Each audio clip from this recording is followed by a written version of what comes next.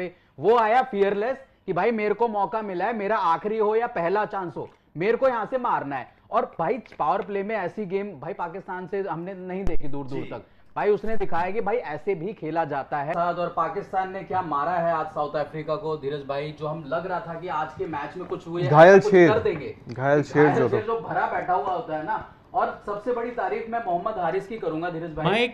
क्योंकि वो ऐसा लग रहा था कि भाई पिक्चर में कहीं नहीं है अचानक से वो आते हैं हम्म। ठीक है और ऐसी पारी खेल जाते हैं कि पूरे पाकिस्तान की टीम को मोमेंटम मिल जाता है वहाँ से और शर्म आनी चाहिए बाबर रिजवान की जोड़ी को कि भाई वो इस पूरे वर्ल्ड कप में क्या कर रहे थे? क्या सो रहे थे?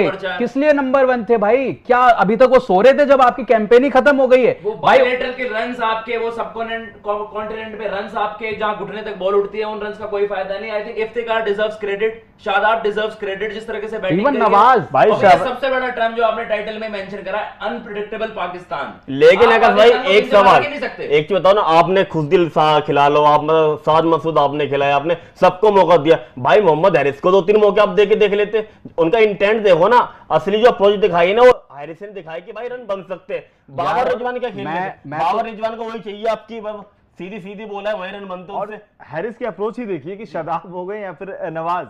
वो आके रुके ही नहीं। विकेट गिर रही है मतलब 10 में जैसा कि हमने उसमें पिछले लाइन में हमने थम भी दिया कि पाक इन ट्रबल क्योंकि भाई चार विकेट गिर चुके थे उसके बाद उसके बाद देखिए 10 में जिस तरीके से पिटाई हुई। आप बाबर और रिजवान आई थिंक यहाँ पर आप हैरिस से एक लर्निंग लीजिए। चाहे कितना भी एक्सपीरियंस कितने भी रन बनाए हैं उस इंसान ने डो डाई मैच में जैसे अप्रोच होनी चाहिए।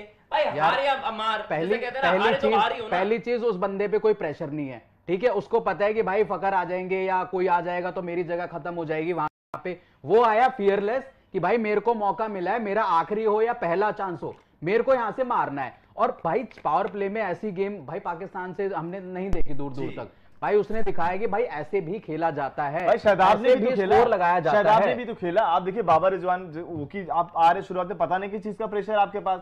शादाब ने आकर जिस तरीके से हिटिंग लगाई है यार लग रहा था जो कबर के ऊपर छक्का मारा था उन्होंने आप से गए कि आपने देखा हो कि रिजवान और जैसे रिजवान की हम बात करते हैं तो गेम बना के आई टीम में कि भाई ने लेग में बॉल नहीं करनी। आप जिम्बाब्वे के खिलाफ देखो जैसे बोल्ड हुए आज भी बोल्ड हुए तो हल्की सी ऑफ़ स्टम्प के बारी बॉल खिलाई किसी ने पैड में बोल नहीं दी। क्योंकि ना फिलिक उधर से जाता। है तो भाई टीमों को भी पता चल चुका है कि इंडियन एशिया की पिचिस तो है नहीं। क्या हम फिलिकी ही करते रहोगे स्क्वायर लग गया फाइन लैग पर मारते रहोगे भाई टीम ही प्लान